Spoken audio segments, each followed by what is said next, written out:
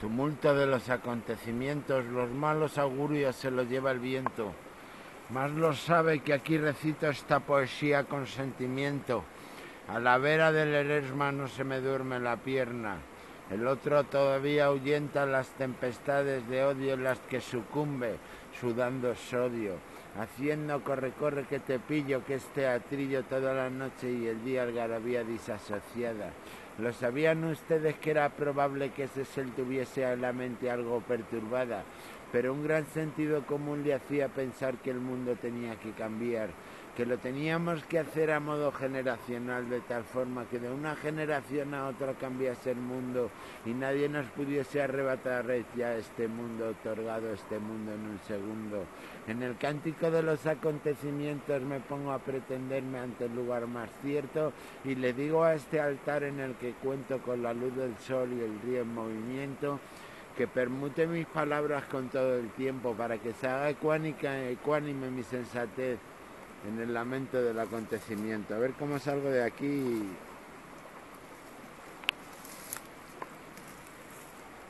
Están metido ahí. ¿Está hecha la gracieta? Te has puesto en el río.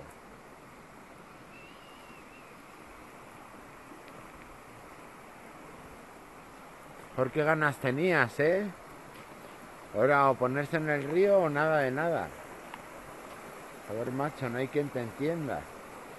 Yo alguna vez pensé de verdad que tenías alguna posibilidad de salvarte de este desastre. Salvarte con tu arte del desastre. Pero bien lo sabe la impertinencia de la ciencia de mi arrogancia que me dice que no podrás. Seguirás grabándote vídeos una y otra vez como un cuento sin final como una telenovela o una teleserie de esas de las que no puedes dejar de ver y que nunca termina. Y que todo depende de aquel señor que está orquestando las operetas y otras historietas con los protagonistas de la historia las más puntiagudas aristas, arquitecto cineasta, argumentador de la realidad, profeta en su tierra, exilio de la desfachatez, temperamento del viento. Saben que estoy en lo correcto. ¿Qué me pasa? No es de guasa, algo falla en mi casa. Tía Felisa todavía fracasa. Va a la peluquería por la noche y por el día, le arreglan los rulos. Mira, en un momento te dice, yo también me los rulo. Quiero regalarte la eternidad del tiempo para que cuando ya no quede ni un lamento, se acomode el exilio de mi desfachatez y lo malo se lo lleve el viento. Que quien hubiera querido más yo que pernoctar en el exilio de tu desfachatez y acometer insalubre con todas las razones que después me hiciesen ponerme en la cumbre que para qué ha valido el misterio estar aquel día viendo a ese cura en adulterio encerrado en un convento con cien monjas desnudas. No quiero pensar en todo lo que mi, mi mente inquieta pudo llegar a intuir, pero no es por fracasar, no es por el tormento que se lo lleva el viento, ni por el lamento. Me voy a meter ahí por aquí, no es un buen día, pero es que siempre voy por ahí, por aquí se tiene que poder ir porque hay camino. Y está más cerca del río y es diferente. Pero está, debe estar lleno de matojos.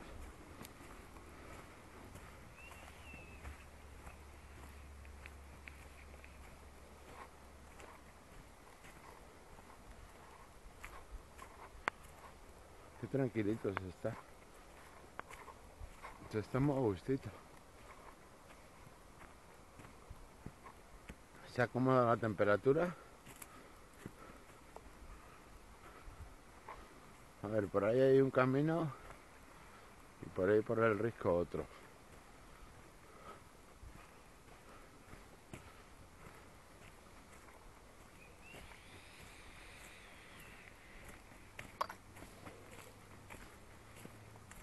Bueno chicos del canal, siempre estoy pensando en dejar de subir vídeos que tengo otras cosas que hacer en mi vida. Me lleva mucho tiempo porque me lo tomo en serio, me lo tomo muy en serio. no como si me pagasen tal o cual, sino porque fuese una misión de vida. Llegar aquí cada día, recitales, directos, villarbola, improvisaciones. Todo está relacionado, ¿no?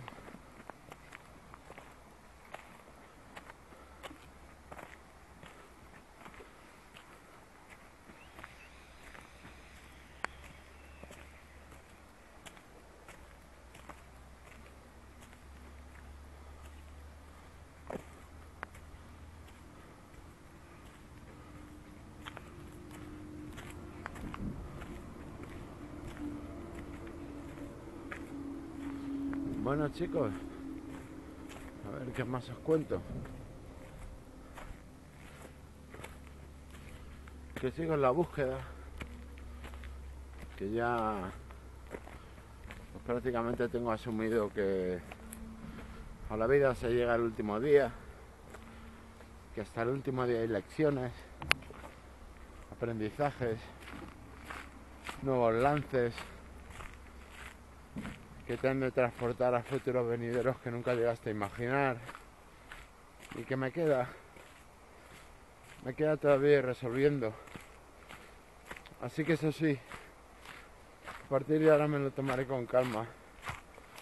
Porque después de estar ayer más de 10 horas pegado sin moverme al ordenador me hice replantearme muchas cosas yo nunca dije que la vida fuera un camino de rosas. Nunca. Pero sí que es verdad que nos dijeron que no era imposible y que siempre había una salida. Siempre había una escapatoria. Ponernos o no en la gloria ya sería parte de lo que cada uno hubiese hecho. Invertir para el futuro venidero en un plan en el que todos ganan. Esa era la apuesta todos teniendo de todo alguna vez haber salido del lodo. Consecuentemente yo les miraba diferente. Les decía, yo también soy gente, si cabe acaso un transeúnte que no quieren que les pregunte. Por mi vida voy caminando, mi cabeza serena, transitando, haciendo cauce de mi temperamento al verse en conexo que viene a brotar como una cascada incesante de mi boca loca se disloca. Mi mente ya no quiere coca.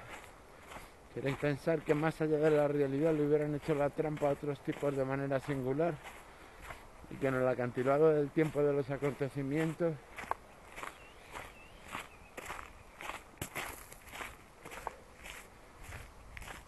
él siempre hubiese estado en lo correcto.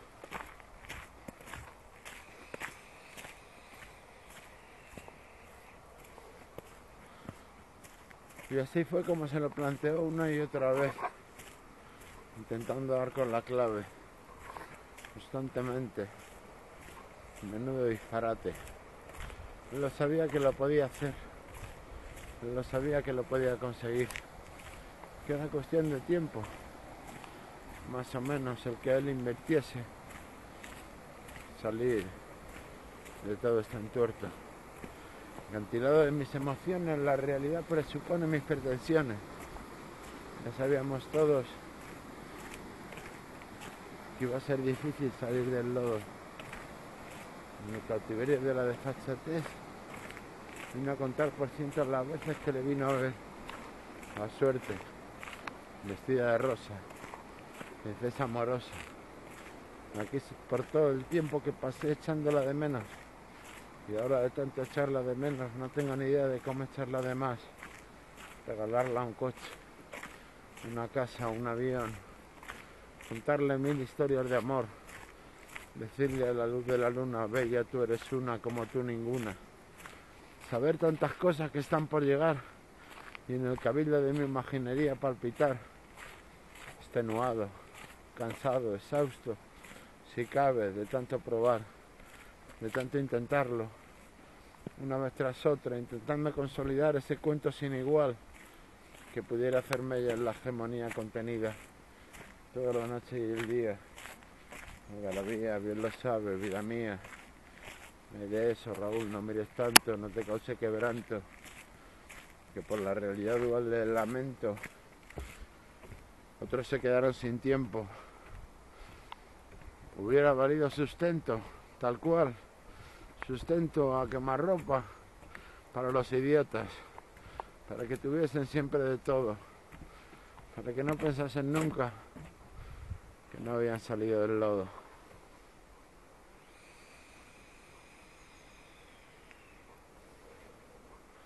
Cautiverio de mis emociones, ahora este es el momento en el que yo le regalo la mejor de mis canciones. En el mismo instante, lugar, el momento en el que le digo estoy cansado, no hace viento, hace sol. Estoy intentando embaucarles con mi canción, abrirle la cabeza con un sacacorcho, decirles que bebí calimocho, que me hice un bizcocho, que me gusta entre las piernas comerle a ella su ocho por todo ese tiempo en el que hemos de transcurrir.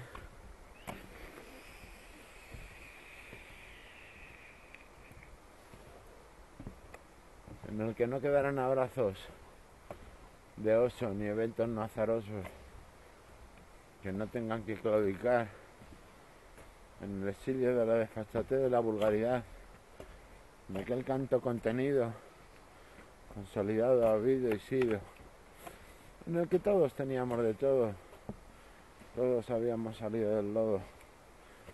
Yo le hubiera dicho a ella pretender que podía llegar más lejos. Ahí tú lo sabías, o pellejo. Si te lo vine a contar ladera abajo, que no servían ni como viejo estropajo. Pero yo le dije a ella, ¿acaso no es usted la más bella doncella?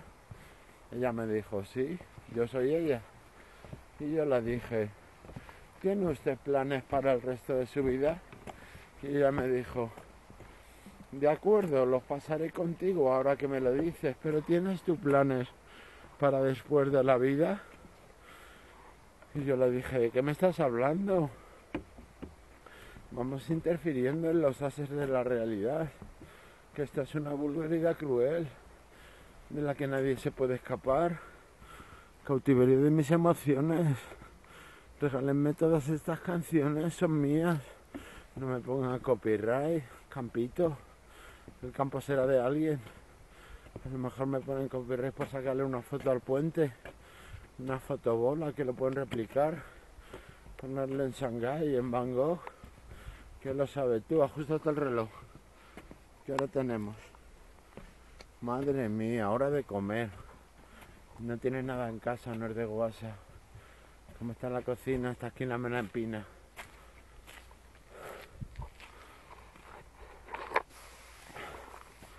otra cuesta.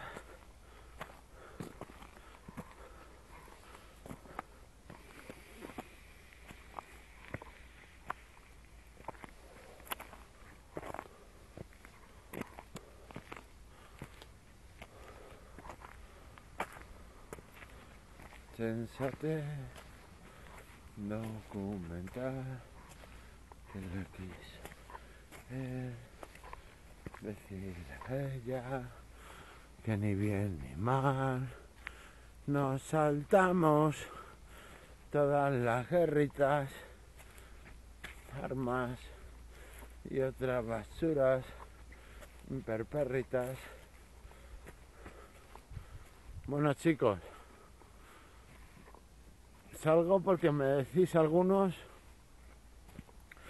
que os gusta que salga al campo este silencio, aunque las casas están ahí, pero hay muy pocas casas, no hay edificios altos, que les quiero mucho.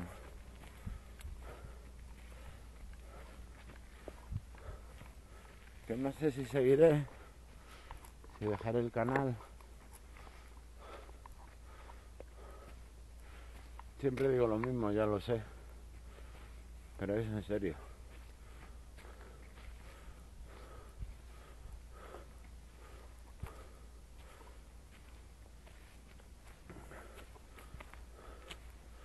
Bueno chicos,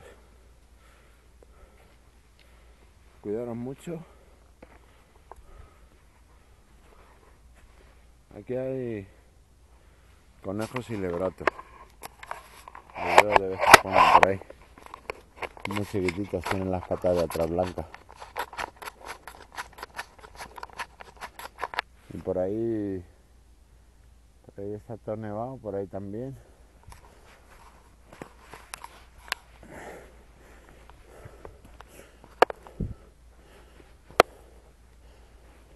Nos vemos pronto, ¿vale chicos? Espera. Un momento y estos dos que he hecho hoy creo que los voy a subir. No tienen música ni nada. Nos vamos acostumbrando a lo que está por venir. Muchachos, cuídense mucho, muchas gracias. Hasta luego.